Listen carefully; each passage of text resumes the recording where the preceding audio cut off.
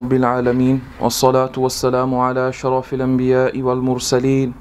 أما بعد فأعوذ بالله من الشيطان الرجيم. بسم الله الرحمن الرحيم. اللهم صل على سيدنا ومولانا محمد طب القلوب ودوائها وعافية الأبدان وشفائها ونور الأبصار وضيائها وعلى آله وصحبه وبارك وسلم وصلي عليه. We are studying hadith number 74. So I've recited the hadith and the translation. So uh, briefly, this hadith, uh, the Messenger of Allah sallallahu alaihi wasallam was shown the nations, all the nations of uh, the prophets alayhi the ummah, the plural of ummah, and he saw that some prophets had small group of less than 10 people in the ummah. Uh, some uh, a prophet with him was one man in the ummah, two men in the ummah, and the Prophet ﷺ even saw a prophet who had not a single person in his ummah. Then the Prophet ﷺ saw a huge group and thought that this was his ummah, and he was informed that this is Musa ﷺ and his ummah. Uh, however, look to the side so the Prophet ﷺ looked to one side and saw a huge group. Then he looked to the other side and saw another huge group. And he was told, This is your ummah. The biggest of all of the groups. This is the ummah of the Prophet ﷺ. And it was said that from amongst them, 70,000 people, 70,000 Muslims will enter Jannah without accountability and without any punishment. So there'll be no hisab kitab, there'll be no questioning, and there'll be no punishment. And 70,000 people like this will be able to enter Jannah. And then the Prophet ﷺ left, and the Sahaba started to discuss who these people may be. And some Sahaba said that uh, perhaps these are those people who accompanied the Prophet ﷺ, the Sahaba. Some said maybe these are those people who were born in Islam and had never done any shirk, polytheism, in their entire life. As they were discussing this, the Prophet ﷺ emerged and asked them and then informed them that these people who will enter Jannah with no accountability or punishment are people who la yarqoon they do not, they do not do ruqya ولا يسترقون they do not seek ruqya ولا يتطيرون this can either mean they do not perceive bad omen or it can mean they are not pessimistic people وعلى ربهم يتوكلون and they rely upon their Lord they have tawakkul upon Allah subhanahu wa ta'ala so the messenger of Allah sallallahu alayhi wasallam mentioned four characteristics of these people who will enter Jannah without accountability. Uh, I'm going to explain what do we mean by pessimistic or uh, uh, having perceiving bad omen. One of the meanings is uh, to believe in superstitions. So inshallah, when I comment on that, I'll explain a bit more. So these are the four things that I mentioned regarding these people who will enter Jannah without accountability and without punishment. They do not do ruqya, they do not seek ruqya. Uh, they have tawakkul, true reliance on Allah, and uh, sorry, uh, number three, they are not pessimistic or they do not perceive bad omen or they are not superstitious. And number four is that they have tawakkul upon their Lord subhanahu wa ta'ala. And a Sahabi, Ukasha ibn Muhsin radiallahu anhu, he stood up and he said, Oh Prophet sallallahu alayhi wasallam, do dua for me that I am amongst these people who will enter Jannah with no hisab and no adhab. What did the Prophet sallallahu alayhi wasallam say? Why are you asking me? Ask Allah. Do dua to Allah? No. The Prophet ﷺ said, Anta minhum, you are from amongst them. Done. You're amongst them. Another Sahabi stood up and said, Oh Prophet ﷺ, do dua for me as well. And the Prophet ﷺ said, Well, Ukasha has beaten you. He's asked first. Uh, in other words. And this hadith is muttafaq alayh. What does that mean? When a hadith is muttafaq alayh? Yes? MashaAllah. Well done, Shazib. Narrated by both Imam Muslim and Imam Bukhari in their respective uh, compilations. Well done. So we'll continue with the commentary of this hadith now. First and foremost, just a bit about the Sahabi Ukasha radiallahu an. Uh, who was Ukasha? Briefly, Ukasha is known as Afdalus Sahaba wa khiyaruhum wa shuja'uhum wa shuja'anuhum. He is known as the best of the Sahaba the most uh, bravest from amongst the Sahaba. The Prophet ﷺ in one hadith said regarding him, Minna khayru farisin fil Arab. We have the best horse rider from amongst the Arabs. Who was that? Ukasha radiallahu anh. The Prophet ﷺ praised him that he is the best horse rider. The story of Ukasha is actually quite famous in the Sirah. In one battle, Ukasha radiallahu ta'ala anhu, the battle of uh, Badr, Ukasha radiallahu ta'ala anhu was fighting and he fought so much that his sword broke. Imagine that he's fighting so much, his sword broke into pieces. So what does he do? He comes to the Prophet sallallahu alaihi wasallam. The Prophet sallallahu alaihi wasallam gives him a piece of wood. Says, "Fight with this." The Prophet sallallahu alaihi wasallam gives him a piece of wood and fight with this. As soon as he takes the piece of wood into his hands, mu'jiza, a prophetic miracle occurs, and the piece of wood turns into a shining metal sword. And then Ukasha enters the battlefield with this. And the Muslims become victorious in the battle of Badr. Ukasha keeps this and he names this sword Al-Aun, which means the help. So this sword he named it Al-Aun, the help. And he continued to fight using this sword throughout his life. His entire life, Thereafter, every single battle that he would participate in, he would be holding the wooden stick of the Prophet ﷺ. This was a mu'jiza until uh, the Ayyamur Ridda, the time of Sayyidina Abu Bakr as-Siddiq, it's known as Ayyamur Ridda, many um, munafiqeen, hypocrites left Islam. And Sayyidina Abu Bakr as-Siddiq radiallahu ta'ala and who waged war against them. Uh, apostates, uh, murtaddeen, Sayyidina Abu Bakr as-Siddiq radiallahu ta'ala who went in uh, war against them and Ukasha was also on the side of the Muslims and fought and he passed away uh, during Ayyamur Ridda ta'ala anhu. The Prophet sallallahu alaihi wasallam praised him much. And again you see here that he hears about this and what is his aspiration? I want to be from amongst these people. And this was the mindset of the Sahaba. Uh, a mindset where they're constantly aiming they constantly they have a target and they have to reach that target i was reading something uh, recently uh, is a comment regarding progress that progress and development we all aspire to have pr- progress in our life in our life we want progress we want development but true progress and true development can only exist if you have a purpose. If you have a purpose, then you can have progress and development. If you have no purpose, then you will not, what that is, is not progress. What that is, is not development. Because development and progress is measured by the purpose. So if one was to say that in Western society there is progress, there is development, that would only be valid if Western society had a purpose.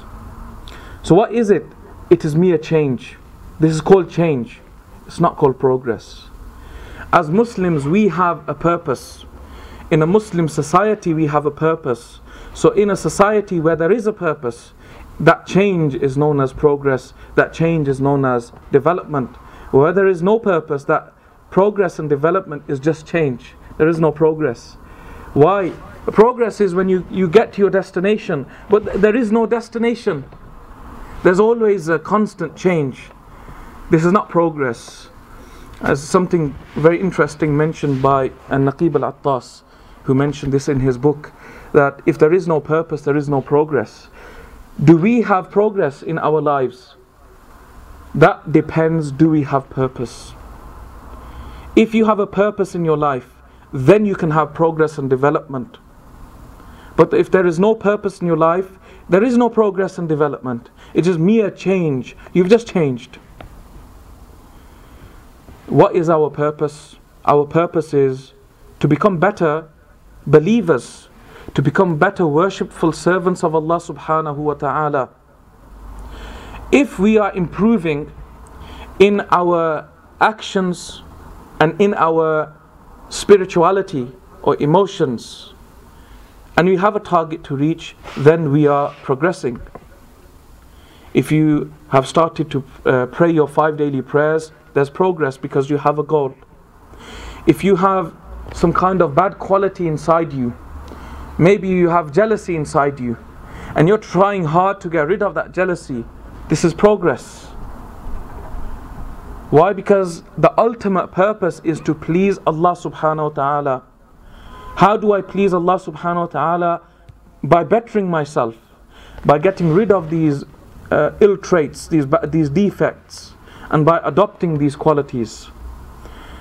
If you are in this process of getting rid of uh, defects from your character, answering back, for example, adults, disrespecting parents, you want to get rid of this. Many people get angry quickly, and amongst the youth, this becomes a, a praiseworthy quality. People are given, brothers are given nicknames, street names based on how crazy they are. This is not a good thing. This is something you want to get rid of. And if you can, and you're in the process of getting rid of these bad qualities and adopting good qualities and fulfilling Allah's commands, reading your namaz, reciting the Quran, giving your zakat when it's fard, performing Hajj if it's fard, fasting in the month of Ramadan, this is progress. Otherwise, there is no progress. So we need to make our lives purposeful. When we wake up, we have a purpose. You know, the Prophet ﷺ, when he would walk, the Prophet ﷺ would walk mildly fast. The Prophet ﷺ would have a fast pace in his walk. And at times, even though they were just moderate steps. It was a miracle that Sahaba who were taller physically than the Prophet ﷺ, who would have physically longer legs, when they would walk with the Prophet ﷺ, they would have to run to keep up with the Prophet ﷺ. But the question is why? Why was the Prophet ﷺ walking in such a manner? Why wasn't the Prophet ﷺ walking slowly? What's the hikmah, the wisdom in the the fast paced walk, moderately fast paced walk of the Prophet. ﷺ, the hikmah, the wisdom is this. Imagine you see somebody walking in the street and he's got he's walking in one direction and he's got faster pace than normal. The first thing in your mind is this person has somewhere to be, something to do. This person has somewhere to be, has something to do. But then on the other hand, you see somebody else walking walking slowly left and right, left and right. He's got all the time in the world, looking into his phone, stands there for three minutes just answering a text, and then walks a bit again. You think this person has all the time in the world. This person does not have somewhere to be. This person does not have something to do. Even in the walk of the Prophet ﷺ, we see that the Prophet ﷺ had a purpose. Even in his walk, there was purpose. So when we wake up in the morning, we need to have a purpose to our day. When we have a certain task, fulfill that task. Become active people, not passive people. And this has been the hallmark of the Muslims. The Muslims have always been active people and not passive people or reactive people. We have always been active people. We have a purpose in our life. You need to fulfill certain things. In reality, in reality, there is no chill day for us. There is no day where we will just rest because we always have a purpose. And on the most basic level, on the most basic level, our purpose is pray your five daily prayers. Any other obligation you have, fulfill it and stay away from the prohibitions. And this is so easy at the end of the day to have to sit and reflect have I fulfilled my obligations of today? Today is Friday, so before you sleep, sit down. Have I fulfilled my obligations of today? the, the obligations of Allah, the rights of Allah, and the rights of people. These are two obligations. The rights of Allah, your daily prayers, have I fulfilled them? Yes. The rights of people, have I fulfilled the rights of my parents? Have I fulfilled the rights of my children? Have I fulfilled the rights of my siblings? Yes. Then on the other hand, have I broken uh, any of, have I violated any uh, prohibitions? Allah subhanahu wa ta'ala told me not to fornicate, did I? Allah subhanahu wa ta'ala ordered me not to backbite, did I? If you have this um, dichotomy, this division in our mind before we sleep and reflect, it becomes easier to reflect. And imagine going before going to sleep, realizing you fulfilled all of Allah's commands and you have not broken any of His prohibitions. That is, on a basic level, a successful, purposeful day. If you can go to sleep and say to yourself, I fulfilled the commands of today and I have uh, abstained from the prohibitions of today. Uh, what more do you want? That's a beautiful day you've lived. What more do you want? So from the just the, the one question of Sayyidina Ukasha, we realize that our lives need to be lives of purpose. Every decision we make, there must be a purpose behind this. I'm choosing these subjects in school. Why? What's your purpose? Why have you selected these subjects?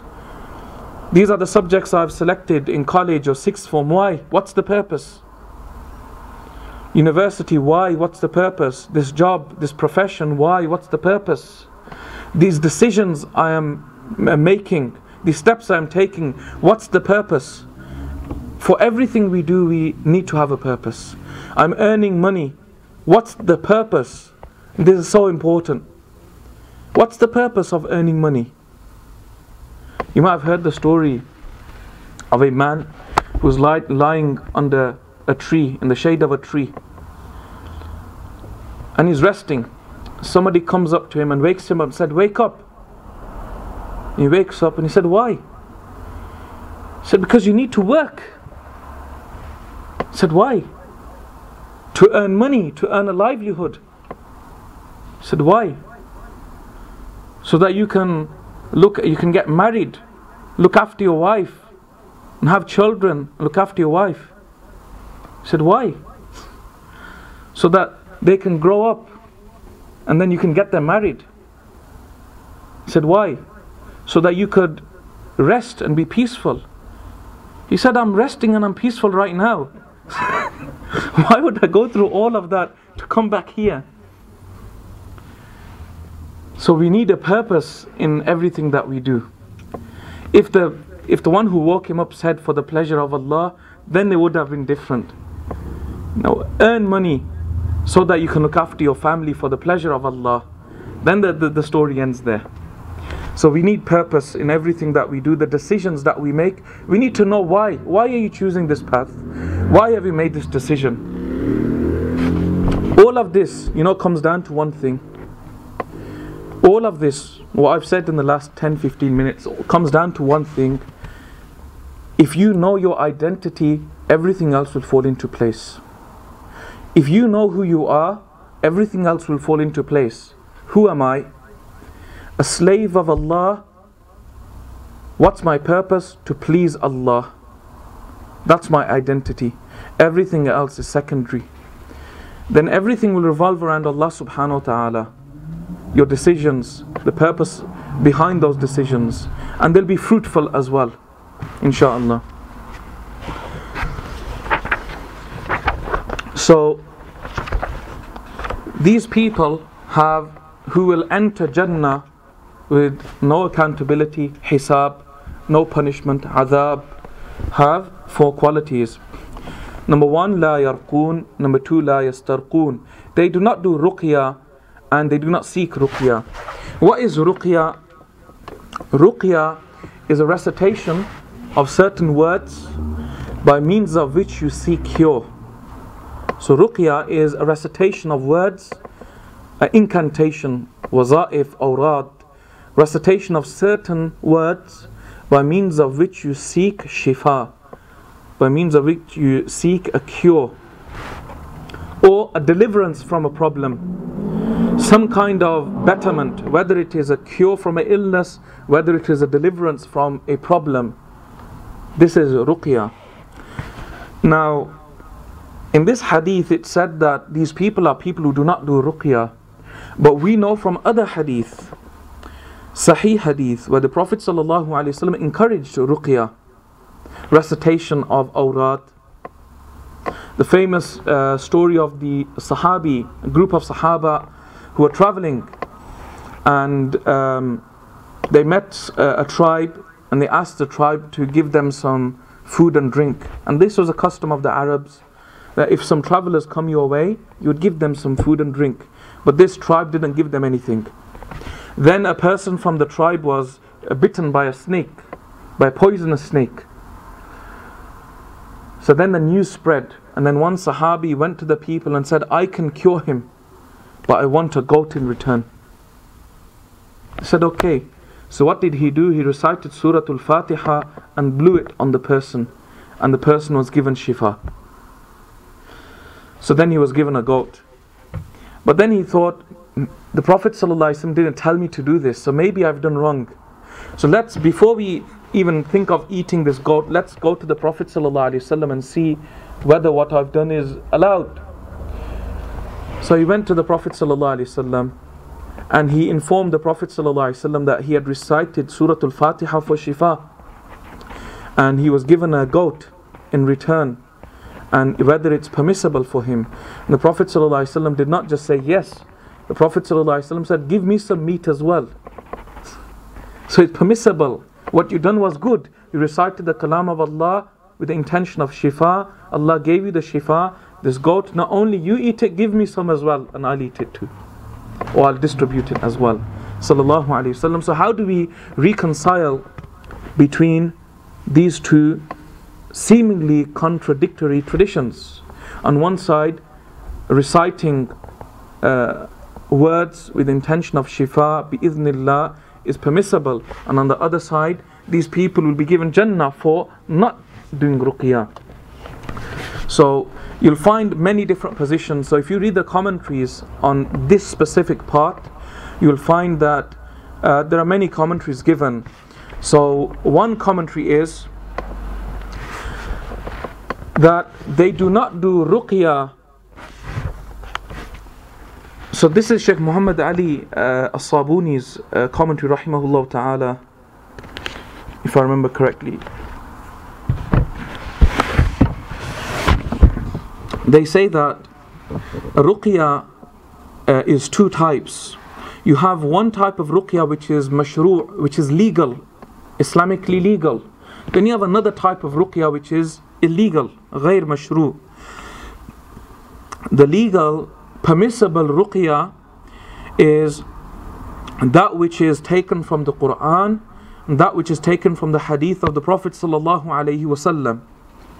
That's permissible.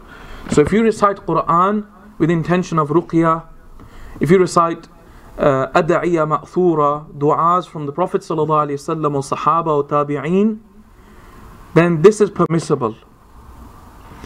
Ibn Kamal Pasha rahimahullah ta'ala he adds to this.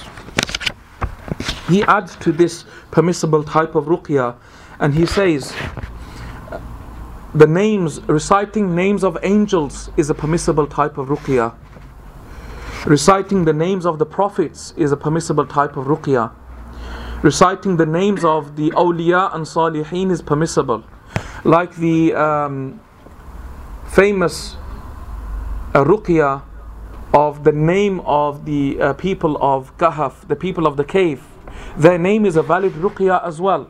Many ulama, scholars, write the name of the people of the cave uh, in, uh, or recite their names as well with intention of shifa. And Ibn Kamal says this is permissible. Arsh, Kursi, Samawat, you know, using these blessed names with the intention of shifa is permissible. With which intention? With intention that these are all means.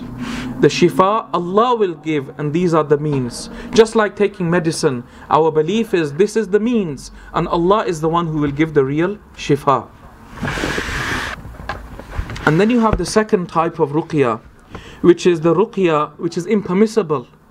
And this was the ruqya which was done in Jahiliyyah, in the period of ignorance, in the time of the Prophet wasallam. They would perform, they would perform this type of ruqya. They would have certain words that they would say, and using words that are not from Quran and Sunnah and from the ulama to use them is impermissible to use them is impermissible and you also have one position to use names uh, that are not mentioned in our tradition or, or incantations and awrad of other traditions again is impermissible. So they do not do ruqya nor do they seek ruqya. One interpretation one commentary is they do not do impermissible ruqya. They do not seek impermissible ruqya. And they uh, do not perceive bad omen, they are not pessimistic or they're not superstitious, and they have tawakkul, reliance on Allah subhanahu wa ta'ala. So that's one commentary regarding ruqya. Ibn Kamal rahimahullah ta'ala gives another commentary, a second one. And it seems that this is more likely to be the commentary. Both are valid. Both are valid. So I wouldn't say any is invalid, but it seems that this is makes more sense. he says that ruqya, they do not do ruqya and they do not seek ruqya. Means the valid type, the valid type of ruqya. They will fall into illness or they'll fall into a problem but their reliance on Allah and their belief in divine decree is so strong, they will not need anything else. They are happy with Allah's decision. They are in a problem. Of course, these are khawas, these are extremely special people. They'll face a tribulation. For example, the uh, al-Shuhada, Imam Hussein, radiallahu an. We have throughout our lives read and heard the story of Imam Hussein? Yes? Have you ever heard Imam Hussein doing dua that, that these people be defeated and he be given victory and everything ends? All you hear is Imam Hussein radiallahu an being patient. Being patient.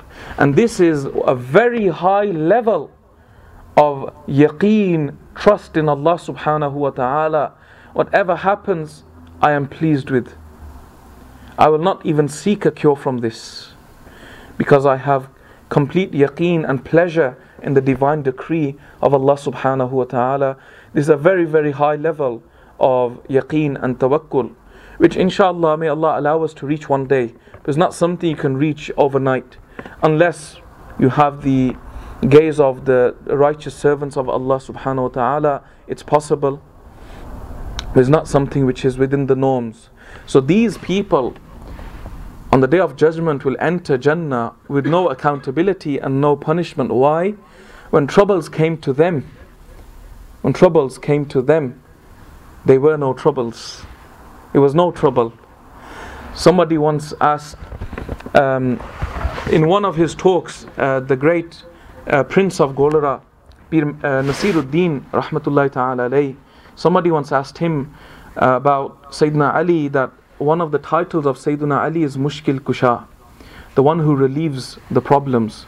And they said, if he is Mushkil Kusha, then why didn't he relieve the problem of his own son, Imam Hussein? And he said, you, you don't understand. You only, re- you only relieve a problem from the one who considers it a problem.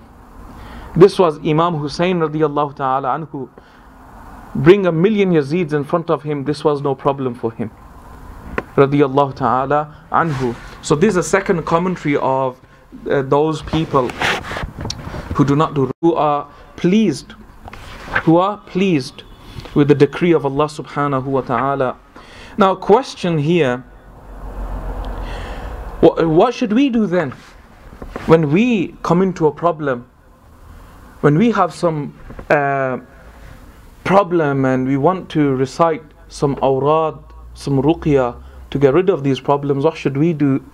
Ibn Kamal he says people are given advice according to their capacity. Do you remember in the hadith of Ka'b bin Malik? When Ka'b bin Malik said he wants to give all of his wealth to thank Allah, what did the Prophet ﷺ say to him? No. And then he said two thirds. The Prophet ﷺ said no. Then he said one third. The Prophet ﷺ said, okay, that's fine. But Sayyidina Abu Bakr as-Siddiq radiallahu ta'ala anhu came, gave every single thing, every coin he had.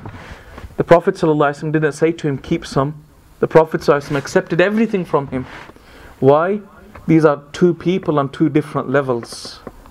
Those people who are on that level of the extremely righteous, they are people who can live with trial and tribulation and be satisfied and do not find the need to raise their hands to rid themselves of these problems. But people like us, we need to utilize these ruqyas, these adiyah, these supplications to get rid of these problems. And we train ourselves. We train ourselves to eventually attain this a level of um, pleasure in the divine decree. This does not happen overnight. This requires training. So that's how we understand the two. Inshallah, may Allah subhanahu wa ta'ala allow us to reach that level. Uh, but remember, uh, reaching any uh, spiritual uh, level, any spiritual elevation, uh, brings its trials and tribulations. It's not going to be easy. And that's why some ulama, they say, do not ask Allah for wilayah. Do not ask Allah for sainthood unless you're ready for the tribulation that's going to come with it. There's a famous hadith mentioning in Ash-Shifa. A Sahabi, he said to the Prophet ﷺ, Ya Rasulullah sallallahu alayhi wasallam, I love you. The Prophet ﷺ told him, Be careful of what you say. Be careful of what you say. Because the one who loves me, the overview of the hadith, the one who has love for me will have many trials and tribulations. And that's something that we as Muslims must accept.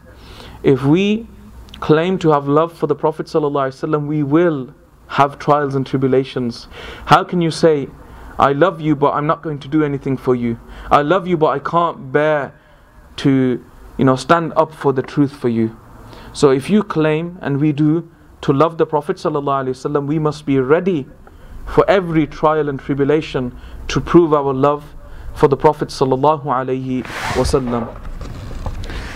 The third characteristic, لا يتطيرون. These people do not perceive bad omen. These are people who are not superstitious.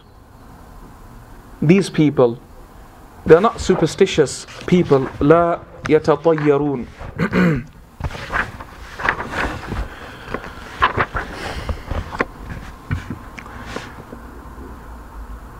when the Sahaba radiallahu ta'ala accepted Islam, the Prophet sallallahu slowly nurtured them, nurtured their character.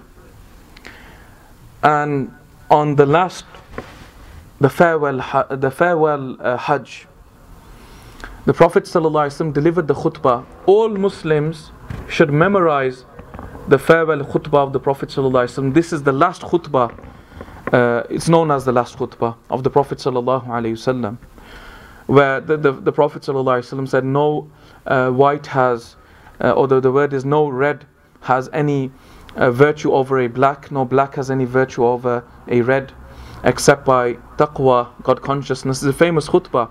In there, the Prophet sallallahu alaihi wasallam said, "I have crushed under my feet the uh, ignorant practices of the cultures.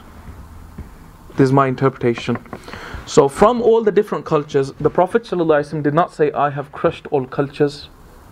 Because Islam adopts cultures. Islam uh, has a lot of fluidity in it. it. It adopts cultures. But the ignorant practices of cultures, Islam eradicates. So, when a person who has an identity, whether he is from the South, uh, South Asian, because our cultures more or less match Pakistan, India, Bangladesh, whether he is from African origin or Arab origin or European, whichever culture the person has, when you accept Islam, Islam does not demand for you to leave your culture. Islam demands for you to leave the ignorances within that culture, but you can still have your culture. But you must leave the ignorant practices of the culture. La yatatayyarun. These are people who are not people of superstition. And the reason why I mention culture because superstition comes with culture. How many a times in our communities have we come across statements of uh, superstition? We have them in England as well. England, by its own culture, has its own superstitions. You know, if you walk under a ladder, then there is bad luck. You see a black cat, then for some reason you have to spill some salt. Or you, you step on a crack, break your mother's back. Uh, you know, break a mirror, 12 years of bad luck. This is part of the culture. And a person who has lived within this culture, who has from childhood heard these things, when such a person would accept Islam, things within the culture which do not contradict Islamic values, they're perfectly fine. But things which would contradict Islamic values, you'd have to leave. Now let's relate that back to us. In our communities, our ancestors accepted Islam. And there were many things that they left, but there are many things that they didn't leave. And they continued practicing them, not because they were biased, because of ignorance. There wasn't much knowledge. Most of us are from uh, village areas, meaning our ancestors are from village areas, areas where Islam was not uh, spread as much. And either our ancestors did become Muslims, or they were Muslims, but they were influenced by other cultures. There's many things that have been passed on. For example, a child that is born, they'll shave the entire head and leave a small part of the hair. They will leave a small part of a hair like a mannat, an oath. This is not from our tradition. Or when somebody's eyes start to flicker, something bad is about to happen. When your right hand starts to itch, I'm going to get some money. When your left hand starts to itch, I'm going to lose some money. Do you know some? Let's see. Have you heard? You must have heard of some. When your ears go red, it means somebody's talking When your ears go red, somebody's talking about you. These are superstitions within our community, um, and w- by adopting Islam and accepting Islam, there's these things we leave. These things we leave, but we, we leave them under the uh, the advice of ulama. So not everything would be contradictory to Islam. Not everything within our tradition, our culture would be contradictory to Islam. So when our ulama, the ulama of the Ahl Sunnati wal Jama'ah, when they tell us that X, Y, and Z within the culture is contradictory to Islam, we leave it. A, B, and C is not contradictory to Islam. We won't leave it if we don't want to. So the third characteristic of the people who will enter Jannah without accountability and punishment are people who they are one meaning would be of yatatayyarun they are not superstitious superstition is contradictory to tawakkul because in tawakkul our reliance is on Allah subhanahu wa ta'ala and this reliance is based on yaqeen whereas superstition is mere hearsay it's just something that's been heard and that's been passed on. So that's extremely important. You shouldn't make up anything, make up judgments based on just assumptions. There was a brother, he was meant to get married to a woman, and his father passed away. So the, the marriage was postponed. Then they set the date for uh, a second time. Then another rishtedar relative passed away. So they then postponed it for a third date. And of course, at that point, the family started thinking maybe there's something wrong with this girl. Maybe not, it's not meant to happen. That's why people are dying. So then they said to the girl that we're not going to they said to the son, We're not going to uh, marry this girl into the family. And the son, mashallah, was Deendar, he knew about Deen. So he said, Look, this is this is nothing. This is just a superstition. This is just a superstition. It's just a coincidence. It's happened like this. You can't join these two together and say and make up the superstition that because um, these deaths have happened, therefore this is not meant to happen. And this created a huge argument within the family. So we have this happening within our communities. There are just one or two examples that have come to my mind. But people do this all the time within their families. They'll pass judgments, make life choices based on mere assumptions. Life choices based on mere assumptions. That's a bad omen. You know, this is a, she's a bad omen. Jinx. This she's a jinx. Wherever this person goes, bad things happen. Jinx, bad omen, superstitions. The Prophet ﷺ has completely eradicated this. When the Prophet ﷺ's son, Sayyidina Ibrahim salam, radiallahu an, he passed away, there was an eclipse I can't remember whether it was solar or lunar eclipse, but there was an eclipse. And the people started to saying this eclipse has happened because Muhammad Muhammad's son has passed away. The Prophet ﷺ, his son has just passed away. He stood up and he gave, he de- delivered a sermon and he told them that the eclipse does not happen because of someone passing away or because somebody is born. The eclipse is a sign from Allah subhanahu wa ta'ala to create fear in the hearts of His servants. So, what is the Prophet teaching? This is uh, linking bad omen, assumptions, superstitions. They have no place in our deen, and we leave them. And if there is something that has come across, you've come across or has passed your mind, then you should consult a scholar and say, well, is this a superstition or is this an actual fact? There are certain things that we'll hear, but because we don't know about them, we'll assume that they're bad. For example, I remember hearing from a young age that if you eat fish and milk together, then you'll have um, uh, your the skin color will change. You heard that as well. I forgot what it's called, but your skin color will change. You'll have patches in your skin. So, as we grew up, we thought this is just another superstition, just another thing that's been said by our elders. But I remember reading in a book of Tib Nabawi, prophetic medicine, that the Prophet ﷺ, uh, advised not to mix fish and milk together. So it's good to uh, consult rather than make assumptions. I was going to say, do you know the story of Sayyidina Abdul Muttalib when he makes an oath uh, to Allah in regards to having children and they draw straws? It, would that constitute superstition or would that be excused because it's pre-Islam? Yeah, pre-Islam. Any story is pre-Islam. That's what we would say. Um, it might, it may very well be a superstition. Um, but remember, pre-Islam, they would even visit fortune tellers. Because my thing is, how would you reconcile that the lineage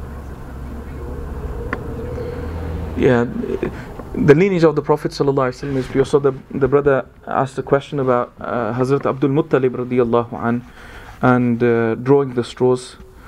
Uh, what was the narration? Um, I think it was uh, he made a oath to Allah in regards to having children. Yeah. That, um, if you grant me some of these things, uh, kill one of them. Yeah, yeah. And then it transpired that he didn't want to kill any of them. So he said, I'll, I'll sacrifice, uh, sacrifice camels instead. Mm-hmm and then they drew straws. I don't know if, I don't know if you've heard of How many straws? That that's how many camels. Yeah, yeah, yeah. Yeah, yeah. So when Hazrat Abdul Muttalib had, when he got married, he made an oath. If I have ten sons, then the tenth son I'm gonna sacrifice. I'm gonna do zibah of my tenth son, and his tenth son happened to be Sayyidina Abdullah, the Prophet's father, and is most beloved to him. So he didn't do that. Instead, he uh, drew straws and based on that he sacrificed that many camels or cattle. Uh, th- that wouldn't be superstition, that's just a, a method. Uh, but there were superstitions in those times the Arabs had, and the Prophet eradicated those uh, superstitions. But pre Islam, these things that would take place, uh, we wouldn't put um, a ruling on that because it's pre Islam. And those are three characteristics. And the fourth characteristic of those people who will enter Jannah, وَعَلَى رَبِّهِمْ يَتَوَكَّلُونَ And they have tawakkul, reliance on their Lord subhanahu wa ta'ala. Uh, you can see from this how highly tawakkul is uh, considered. The people of tawakkul are people who will enter Jannah without accountability. Without accountability. The beauty here is the four things that I mentioned, the first three are all incorporated in tawakkul. Those who have tawakkul on a very high level, on a very high level, would not do ruqya, would not seek ruqya, and their tawakkul is such that they would not consider bad omen, they would not be superstitious, they would not make judgment based on assumptions. So, in reality, what's happened here is that the three have been mentioned individually, but all three are also part of tawakkul if you have tawakkul. You will be able to fulfill these three, but eventually. May Allah subhanahu wa ta'ala make us from uh, those people who have true reliance on Allah subhanahu wa ta'ala, who make decisions uh, that have a valid purpose for the pleasure of Allah subhanahu wa ta'ala. The next hadith is a hadith of dua. So inshallah we're going to start with this in our next lesson. Uh, hadith 75 onwards inshallah a dua of the prophet sallallahu wasallam asking uh, for tawakkul or, or, expressing tawakkul in Allah subhanahu wa ta'ala walhamdulillahi rabbil alameen